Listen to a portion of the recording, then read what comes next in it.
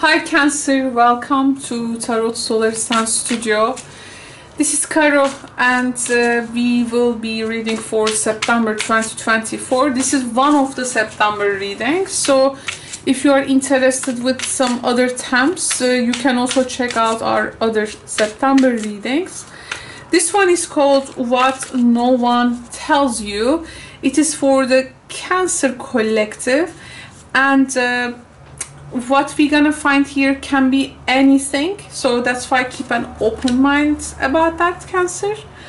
Uh, any temp can come out of uh, these cards uh, and keep uh, in mind that these are general readings so they are not going to resonate or uh, actualize for everyone watching. That's why please check your other astrological associations if you think those are also working for you.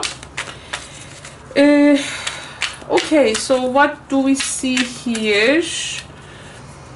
Okay so i first of all the first thing that comes uh, to me is that uh, i feel here there is some kind of a company and uh, about the uh, future of, of a company or a place uh, so the future of that place, uh, which has actually strong uh, foundations, uh, or known to be as uh, strong foundations, now it seems have something with regards to. I mean, it cannot be trusted because it's a bit unknown at the moment. Its future so it can be about a corporate dynamic for some of you. Uh, so for some of you, I see here some kind of um, uh, someone who is uh, choosing solitude, uh, but also uh, entertaining a particular idea about something and they are not letting others know about it. So this can be a subject which you would mm, normally think they will never ever get interested but it seems they are. Uh, I feel here like uh, there's someone and uh, this person is emotionally indifferent. Yes this is making them untroubled maybe but they are very much disconnected uh, as well. So here this person can be uh, maybe a sibling some of you um, but they may take a different path. They they may need to choose uh, some kind of a different uh, way and if this is a family dynamic maybe you do not know about it yet. I also feel here someone uh, who is like uh, overload with responsibility want to actually unburden uh, themselves. They want ease they want solitude. Maybe someone uh, cannot explain actually to you that they want solitude. And uh, it, it, some kind of a peacefulness to maybe discover the times around their worthiness uh, and rather uh, than like working like so hard but rather you know working smart and uh, using a previous uh, uh, resourcefulness to maintain some kind of a uh, living. But what they don't tell you is maybe there is a conflict here um, like having a position in authority or of authority in a place but also they want to have fewer responsibilities which do not go well. I see here like there is some um, change there's going to be some change uh, in position of power at a place. Um, and i think uh, there is there is a here a chance that someone can really say no to something but they are not choosing to do and they may not uh, tell you about this. Uh, there is a lot of stress on emotional isolation here, like being emotionally cold, distant. Uh, a person may not tell you like they don't want actually anyone to let in, you know, like they crave this deep loneliness and they are like finding rest in solitude.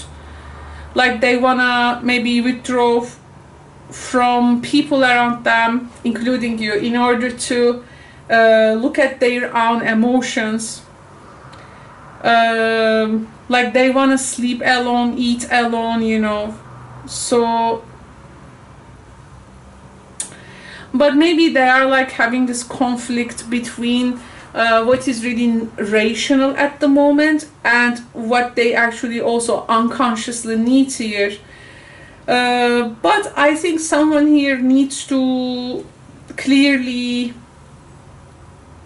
had to look at their own maybe needs and fears like it can be this someone is really looking for that quiet time solitude time.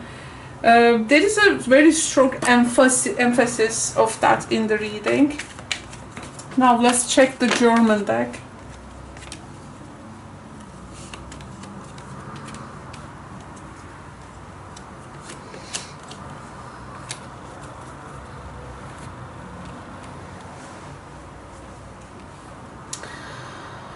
okay someone's home is getting visits constantly by police maybe or like official figures?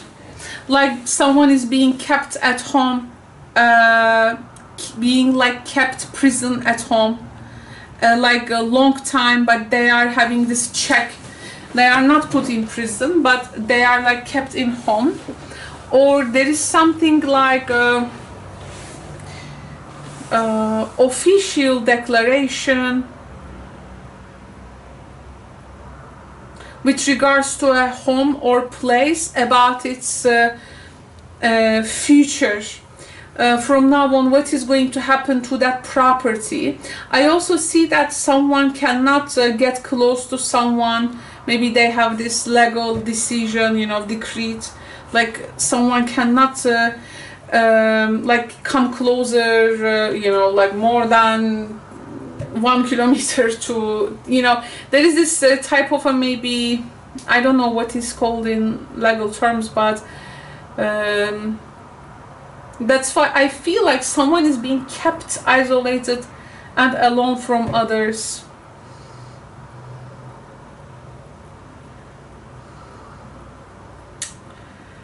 and this like goes with any type of con context. Cancer.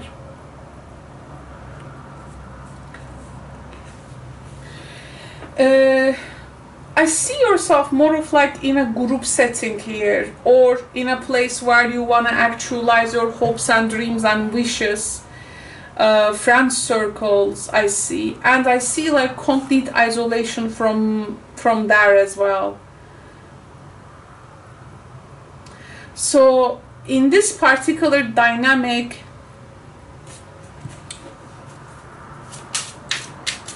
there are some uh, stories hidden.